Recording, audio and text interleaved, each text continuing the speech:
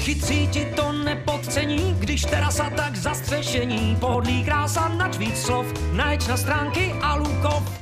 Byl jsem na odborné stáži ve Švýcarsku a každý domov nebo hodně domovů měli uh, takovéto zimní zahrady s výsumnými moduly nebo zastřešené, zastřešené velké balkóny, tak tam jsem se inspiroval.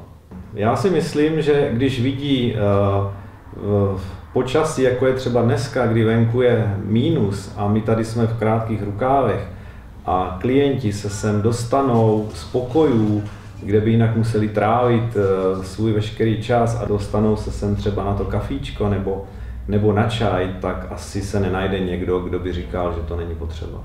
Vidíte, dneska, dneska tady je minimálně uh, rozdíl oproti venkovnímu prostředí 20 stupňů, což si myslím, že je natolik dostatečné, že tady nemusí být žádný topení. No až, že jste se svlíkl. No vidíte. Takže by se nemohla svlíknout, protože byla polonaha. Není samozřejmě to využíváno jenom, jenom takhle eh, v těch eh, měsících, kdy je venku zima, ale eh, tento prostor byl v minulosti hodně navštěvován i třeba v létě zaměstnanci, ale protože jsme zde měli jenom altány se zastřešením, ale ne, ne chráněný od, od větru a ne v takovéhle ploše. Takže ta zimní zahrada bude samozřejmě díky teda, že máme, že máme nahoře i zaclonění, e, využívána po celý, po celý rok. Tím, že to je všechno na, na, na ložiscích, tak není nejmenší problém ty jednotlivé segmenty odsunout.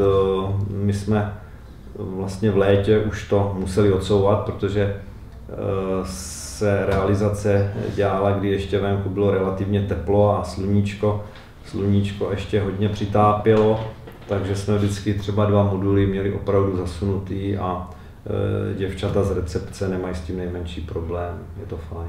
Maximálně spokojený, e, komu se to jenom trošku povede a ty finance získá, ať, ať jde do toho.